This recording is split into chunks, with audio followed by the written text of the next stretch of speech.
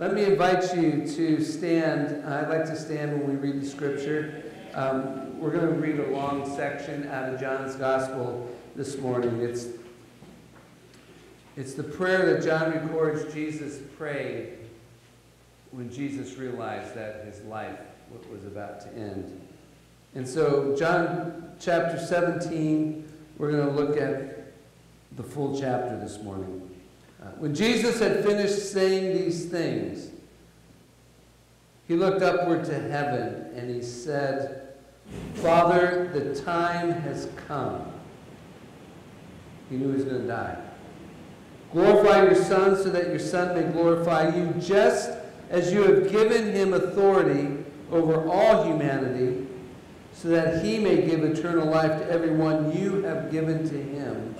Now, this is eternal life that they know you, the only true God, and Jesus Christ whom you sent. I glorified you on earth by completing the work you gave me to do. And now, Father, glorify me at your side with the glory I had with you before the world was created.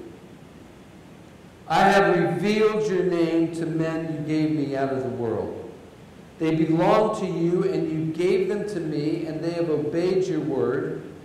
Now they understand that everything you have given me comes from you, because I have given them the words you have given me.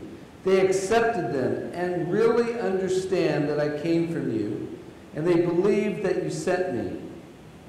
I'm praying on behalf of them. I'm not praying on behalf of the world, but on behalf of those you have given me, because they belong to you. Everything I have belongs to you, and everything you have belongs to me, and I have been glorified by them. I am no longer in the world, but they are in the world, and I'm coming to you. Holy Father, keep them safe in your name that you have given me, so that they may be one just as we are one.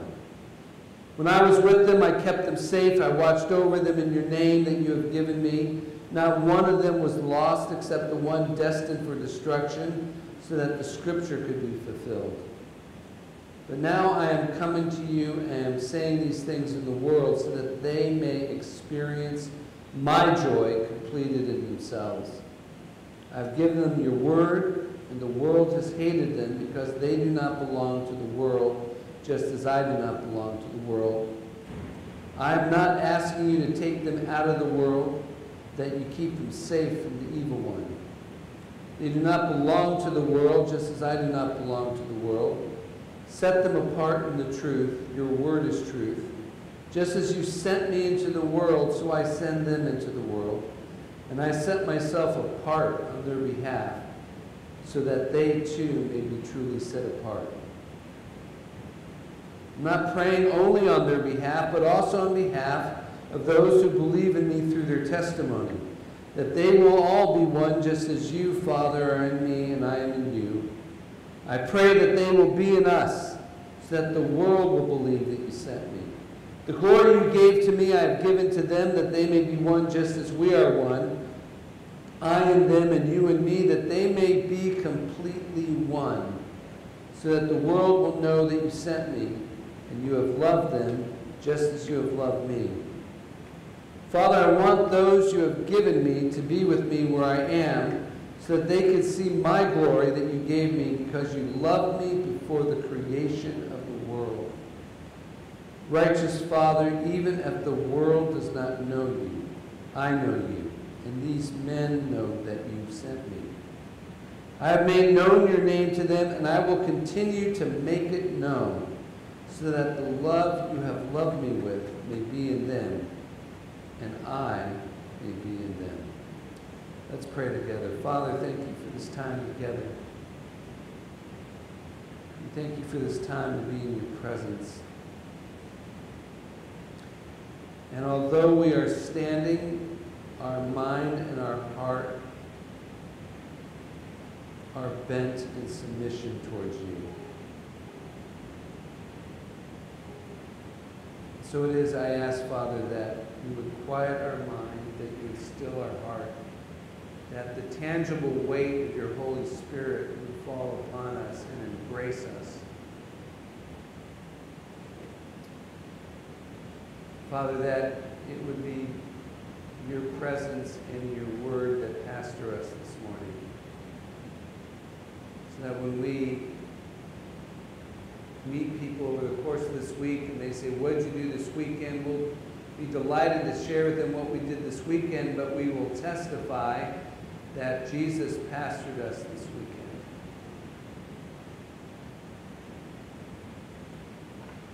So, Lord, use these scriptures, use my words, that they would create open doors for you to pastor us today.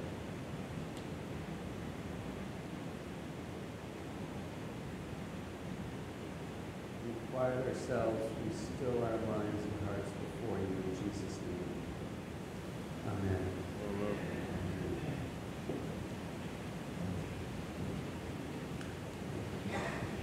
There's a vulnerability uh, in this prayer that I think in my younger years, and I don't think I know, in my younger years, uh, I completely missed.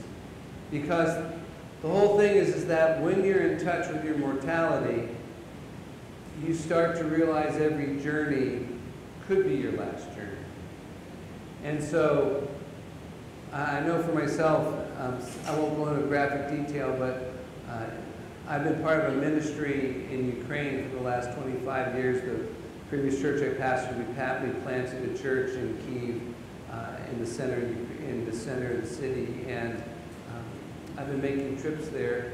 And about four years ago, I was was there, and we thought I needed medical attention, and so they took me to a hospital in Kiev, and it's not a place you want to be taken to a hospital. If for no other reason than the emergency ward was up four flights of stairs, and there are these concrete stairs that were built under the former Soviet uh, regime, and so they're all split. You can easily slip through and under a stair. There's rebar poking out of everywhere, and when you're when you're in the condition I was in, it, it was just hard to be dragged up stairs, and they don't have the same respect for the human body that our medical institutions have here, and I don't think they realize anesthesia uh, has been invented yet. So um, suffice, suffice it to say that when the scalpel was produced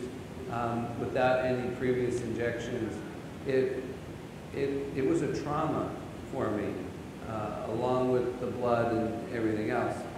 And since then, I can have anxiety attacks when I travel. Um, I can think that I'm fine, and then I show up somewhere, and, and it's kind of a reliving of that separation. But since that time, the whole thing about it is, is that now before I leave, I realize I have no guarantee of seeing my wife or my four adult children or two grandchildren or friends that are part of our community. I, there's no guarantee. That, that goodbye could be my final goodbye. And so you find yourself praying for the people God has given you. And so the, this prayer that, that Jesus prays is a prayer of a man who's realizing he's going on a journey. And Jesus is a mystery. He says, you know, he says, destroy this temple in three days it will rise. So he has an awareness of resurrection, but he doesn't know what it's going to look like. There's all kinds of things Jesus doesn't know. He, when people say, are you going to restore the kingdom of God now? He goes, I don't know. I don't know. The only person who knows is the Father. No one else knows. Fact, every time someone says God's going to return on this date, it can't be that date anymore.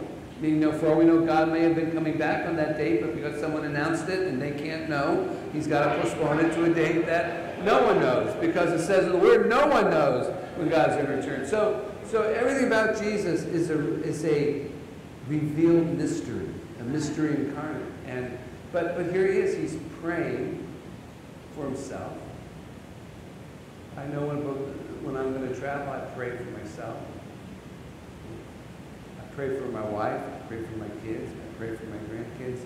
It's kind of like a blessing. What are the things that are on my heart for them before you embark on that journey? So uh, this prayer resonates. That this prayer sounds like the prayer of a man who's facing his mortality and is at peace with it, but still has things on his heart and he wants to get off. There's a lot here, and so don't panic. We're, we're not going to go through everything. When I was pastoring, um, my pastoring was I rarely spoke topically. It was just expositional messages out of Scripture, and so if I said to the congregation, there's probably a month or two's messages in here, there are people who would white knuckle the chair because they'd go, oh man, pastor could be here. We could, we could spend the rest of our life here. We're not going to do that. But we are going to make some observations. And particularly, I want to look at two gifts given, one present shared, and then one prayer that was prayed. So we're going to look at that. Two gifts given that what I called it? Oh, two gifts received, one present given, one prayer prayed. This is the helpful thing when you give slides out in advance. You, you get to relearn your message. So, two gifts received. God gives Jesus two gifts. The first gift is he gives Jesus the world. When, when it says that all authority has been given to him, that's, that's saying God, God the Father has given Jesus the world. In fact, it says right there, all authority has been given. Do you know what that Greek word for given means? It's given. Doesn't take a rocket scientist. I'm not a rocket scientist. I just know it means given. Same word that's used when you give someone a present. This precious blue jewel that God created, that reflects His majesty, His intentionality, His creativity, His love, His generosity. This blue planet and everything within it and upon it. God gives to Jesus as a gift. This, this planet, its beauty and its brokenness, it's given to Jesus. This, this jewel of creation, given to Jesus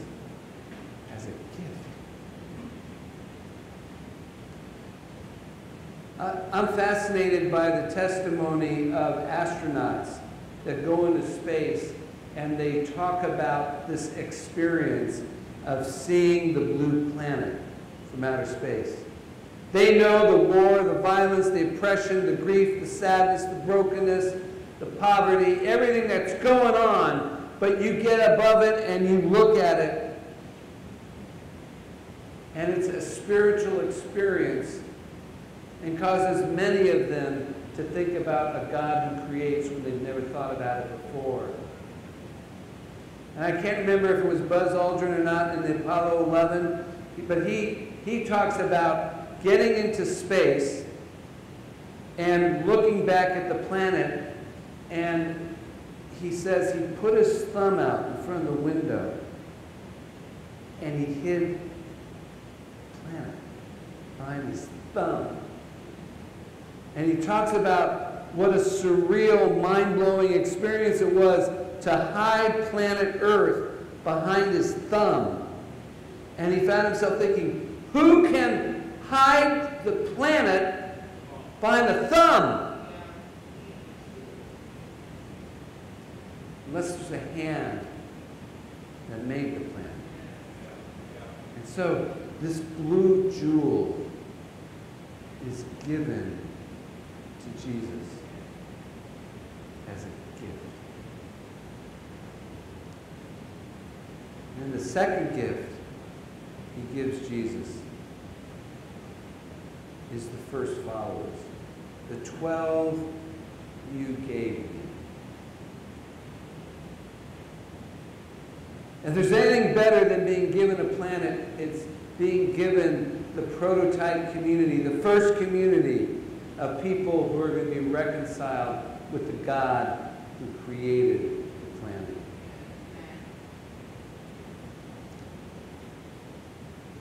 So the world is given to Jesus as a gift.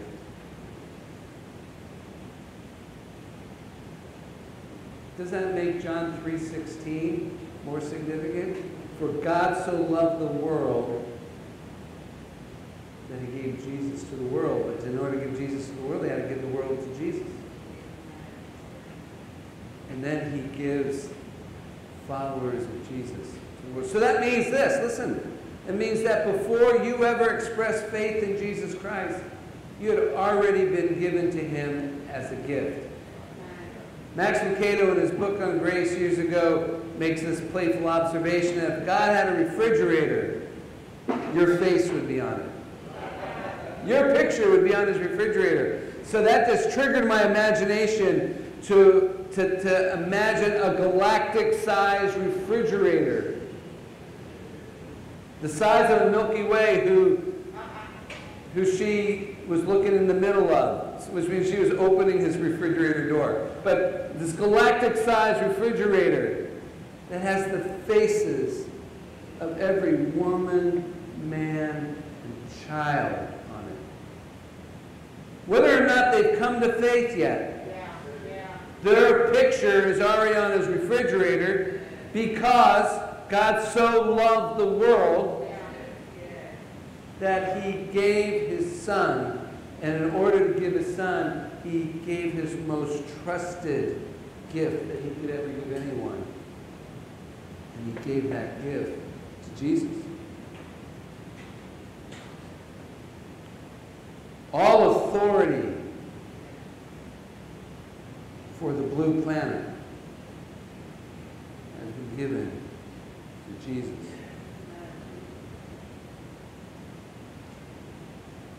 And out of that, God gave him the first 12 as a gift.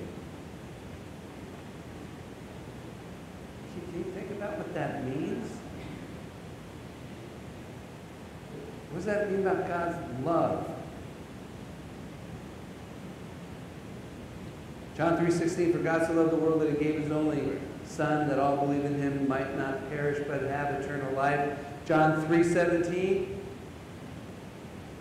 What's John? We know 16. We forget 17. He came not to judge the world, Savior. Because the best gift God could ever think to give to Jesus was the world. So those are the two gifts received. The world and first followers. Then the one present given is us. As you gave them to me, so I give them, or so I send them into the world. Isn't that amazing? As you have sent me, so I've sent them. The second present given is us. We're given to the world as gifts. Imagine that. We're intended to be gifts. Just as Jesus was intended to be a gift, we're intended to be a gift, which means that we're not there to be known for our hostility, our judgmentalism, our indifference, our apathy, what sides we're on. We're intended to be received as a gift. And therefore, the prayer that you need to pray, and it's simple. Start your day, remind yourself, is simply this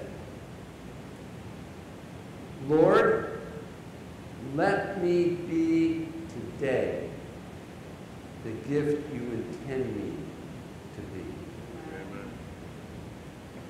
Do you realize how different our encounters, our perceptions would be if we realized The most important thing that someone can know about my life is, is that it was intended to be an expression of God's love for you, God's care, God's concern. Because we're a gift given to a planet he loves. And so, Lord, let me be today the gift you intend me to be. If that becomes our frame of mind, then that changes everything. That, now, some of you, you're intended to be God's gift, and in the capacity that He's given you that, that gift, you even get a uniform from Him. So if you're a first responder, if you're a police officer in the military, for God loved these groups of women and men that He gave you. And He even gives you a little uniform to be you and be a gift.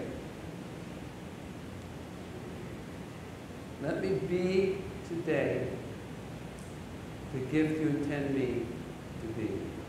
Now, I was raised Jewish, and so uh, the pictures and the battles and the miracles of the, you call it Old Testament, I call it First Testament, uh, was, was, was, and I used to think as a kid, you know, I wish I could have been there when Moses parted the Red Sea or when David you know, slew Goliath. And, and you think about that.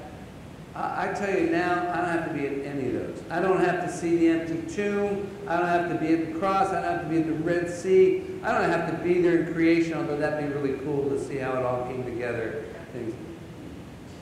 I'll tell you where I would want to go. If you could say, Slovak, where in the Bible, if you could go through a time tunnel and, and show up somewhere, where would you want to be? I'll tell you where I want to be. I would want to be at that dinner where Jesus was meeting with the tax collectors and the prostitutes and the sinners. And I want to know how did he not empty the house by showing up? Because I know when I'm on an airplane or around people that don't go to church and say, well, you know, classic question in America, what do you do? Like that defines who you are and what you have to offer. What do you do? And so, what do you do? And I say, I'm a pastor. That's like, if they're not Christian or anything, that's a conversation killer. It's like you're at somebody's house for a party. What do you do? And you say, I'm a pastor. And it's like, oh, I think I see somebody. I mean, so, so I want to know, how did Jesus go to a dinner with prostitutes and tax collectors and cast off, and all they wish is that he stayed around longer? How does that happen? We're so paranoid about getting defiled. Listen, when God, when the Word became flesh and dwelt among us, if there was the capacity or the possibility of being defiled, it would have happened the day Jesus was born. But Jesus says it's not what goes into a person that defiles them, it's what comes out of a person.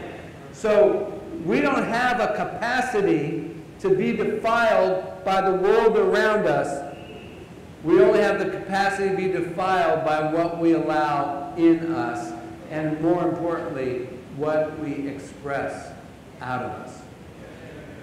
So our words can defile a woman or a man. Our thoughts, our behavior, our actions. It's not who we're around, and it's not the conversation that's being held. It's what's in us. So, how is it that Jesus has this dinner? People want to be around him. What does he say? How does he sit? How does he engage? Does he lean forward? Does he sit back? Does his arms cross? Does he have a look on his face that tells everybody, I don't approve of you? And what's, what's going on there? All I know is in that moment, he was modeling for us let me be the gift you intend for me to be. And the whole thing is that that gift isn't withdrawn just because people disagree with you. Just because people don't think like you, dress like you, act like you think people ought to act, use language that you wish they wouldn't use, or have thoughts or actions, percent, whatever. That doesn't make any difference. I mean, it sounds so trite to say that gift keeps giving no matter what the response is.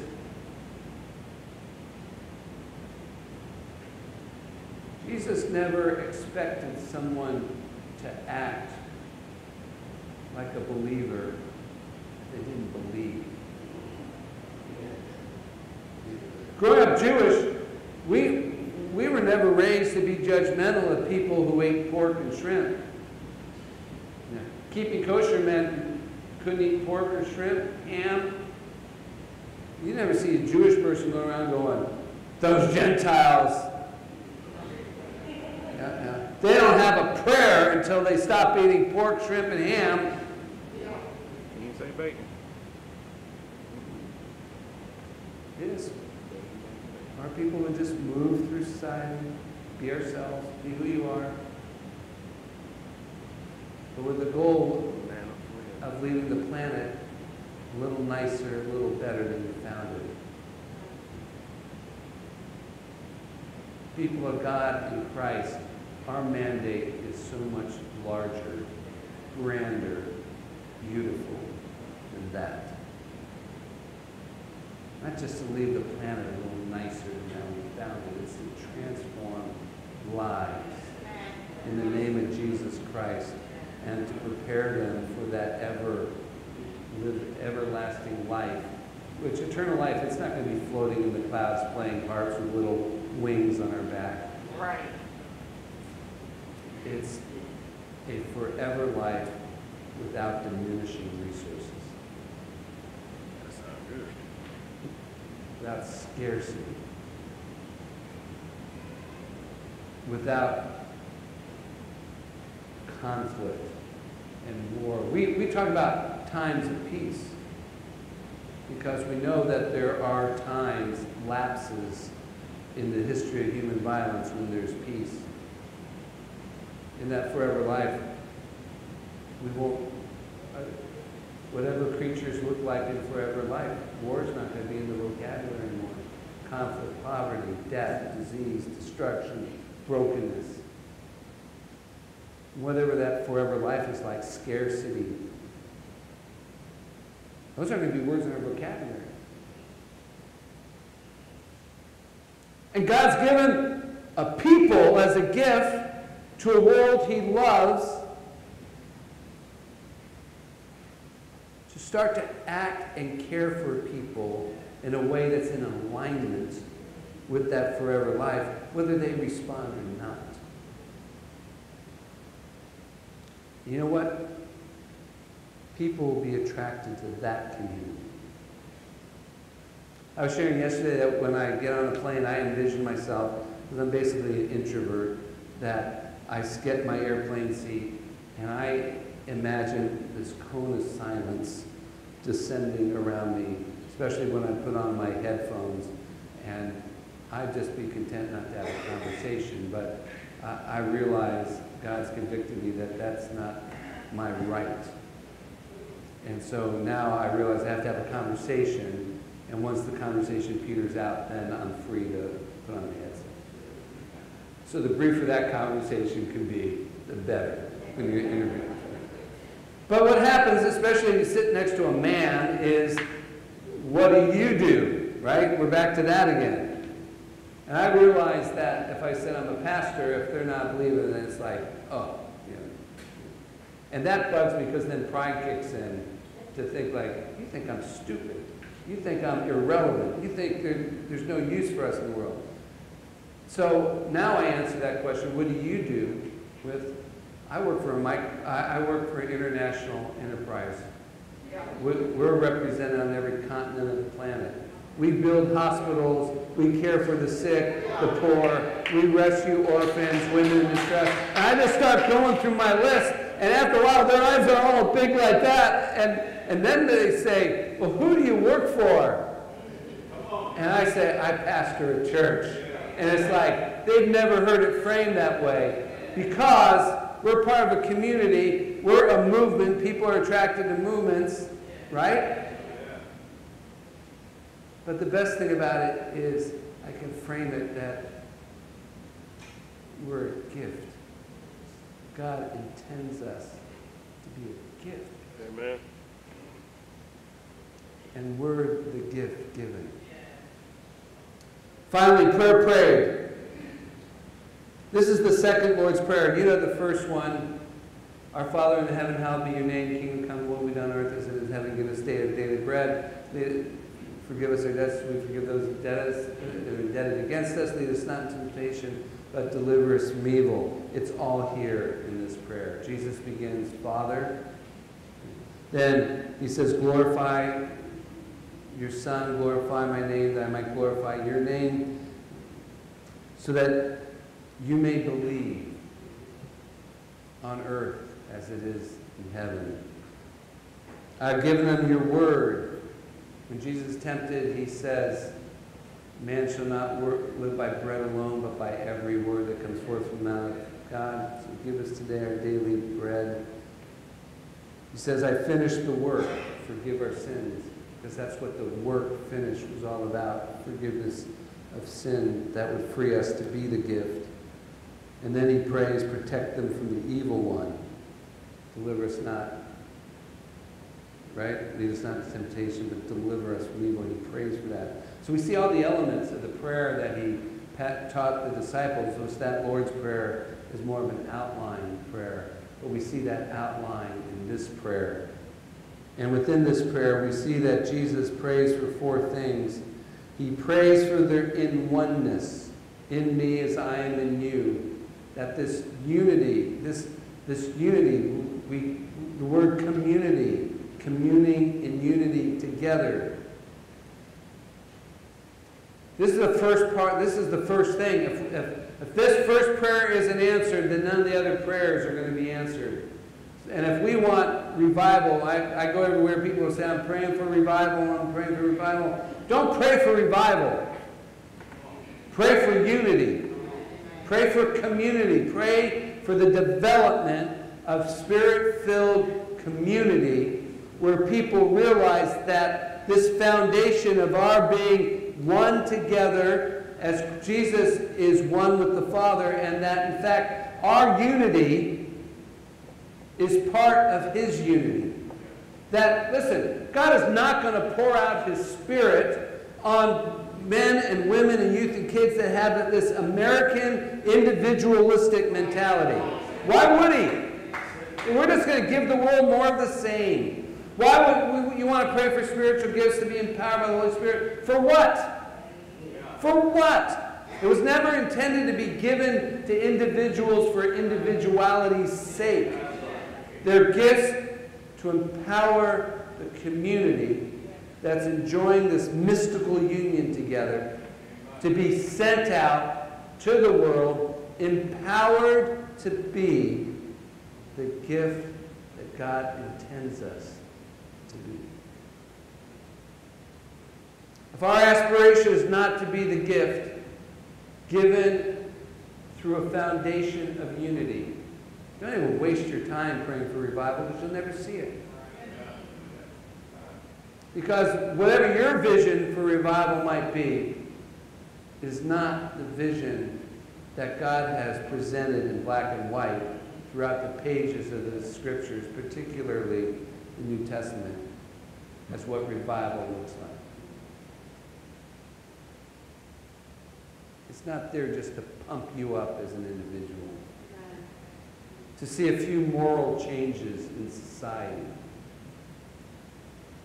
It's to transform women and men and youth and children.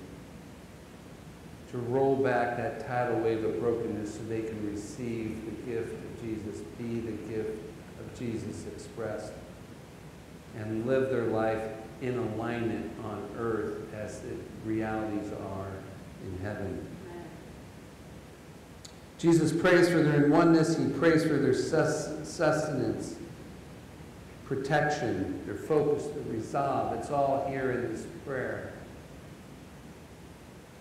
That that gift might be sustained. Jesus prays for their holiness. Now, holiness, that's a tough word because I think most of us have this vision of holiness that, you know, is like you have an aura around your head, a halo. You know, holy people are kind of odd but welcome. Um, they, they mix stripes and plaids at the same time. Um, there, there's something different about them, but you can't live without them, but it's hard to live with them uh, because they seem to drain the fun out of life because they're so holy. And, and, and they refrain, they're indifferent, they separate themselves. And that's not what holiness is.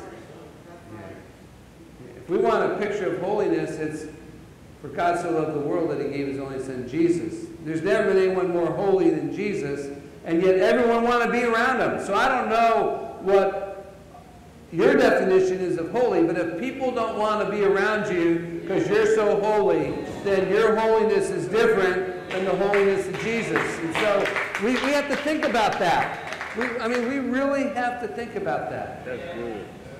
That's good. Because if our definition of holiness drives people away, I don't see it in the book. Because there's never been anyone more holy than Jesus. And lastly, Jesus prays for their effectiveness, our effectiveness. It says that the world may know. What are they meant to know? God gives the world and us as a gift. It must delight Jesus to see women and men, youth and kids being brought alive through faith in him and the world. Not because he's on some cosmic ego trip, but he represents, but he understands the healing that redemption and salvation bring. That the world may know.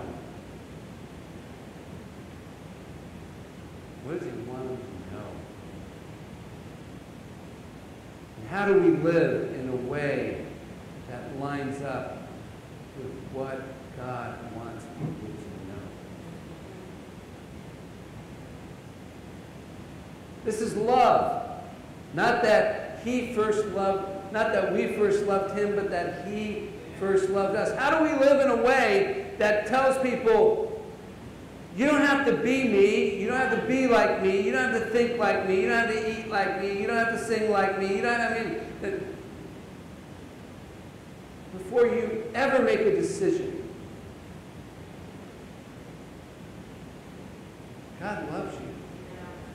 How do we live in the world we find ourselves in such a manner that everything about us says, God loves you, even though you don't love him? But see, we've got to live that way because before we believe, God had already given the world to Jesus. Because he loved the world so much, he already gave the world and all of the people to Jesus. How do we live in a manner that's like that? I forgot to share this quote at Pastor Huey's campus, but um, let me read you this quote in closing uh, by C.S. Lewis. This, this quote has always captured my imagination. It's from an essay called The Weight of Glory, and he writes this It may be possible for each to think too much of her or his own potential glory hereafter. But it, it is hardly possible to think too often or too deeply about that of your neighbor. The load or weight or burden of my neighbor's glory should be laid on my back. A load so heavy that only humility can carry it and the backs of the proud will be broken.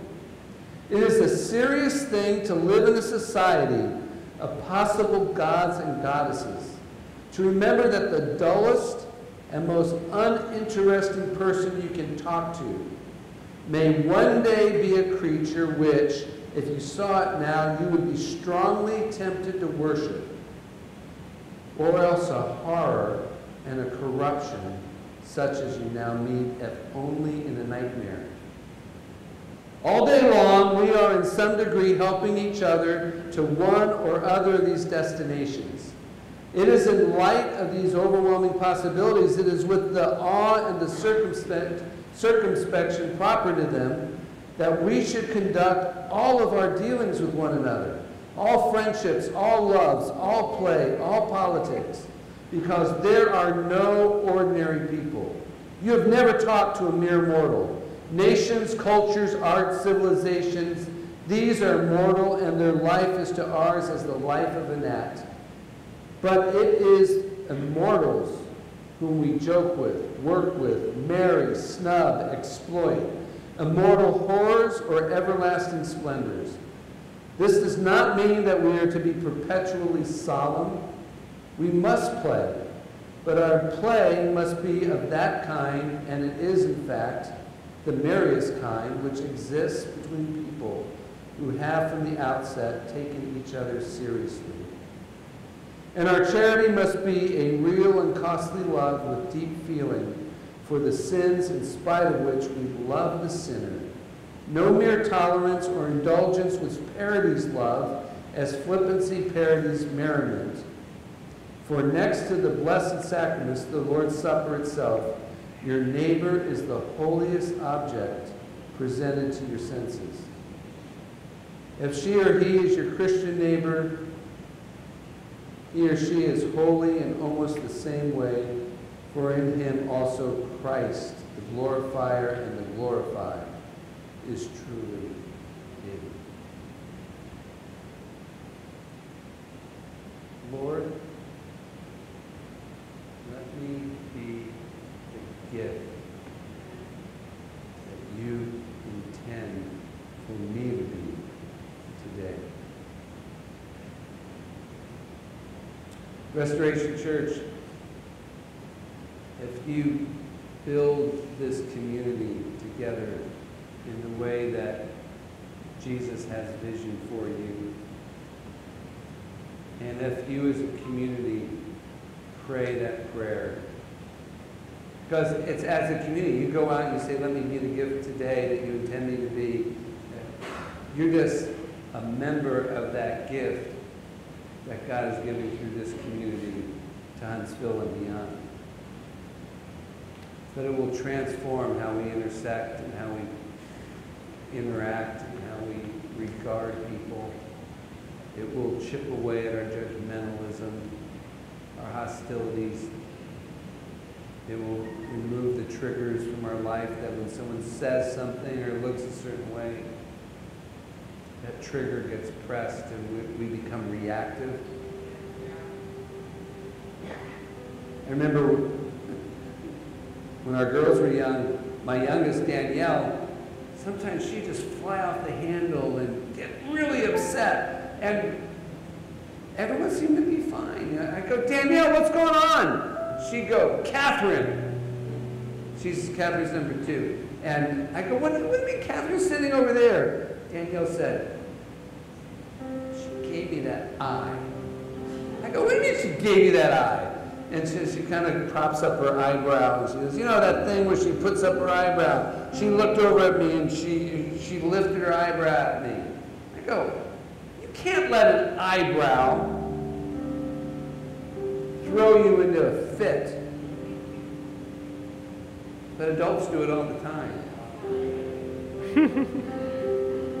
Jesus' people intending to be the gift that Jesus intends the people to be. We can't be a reactive people unless that reaction is one of compassion, moved by love, by the giver who gave us as a gift to the world.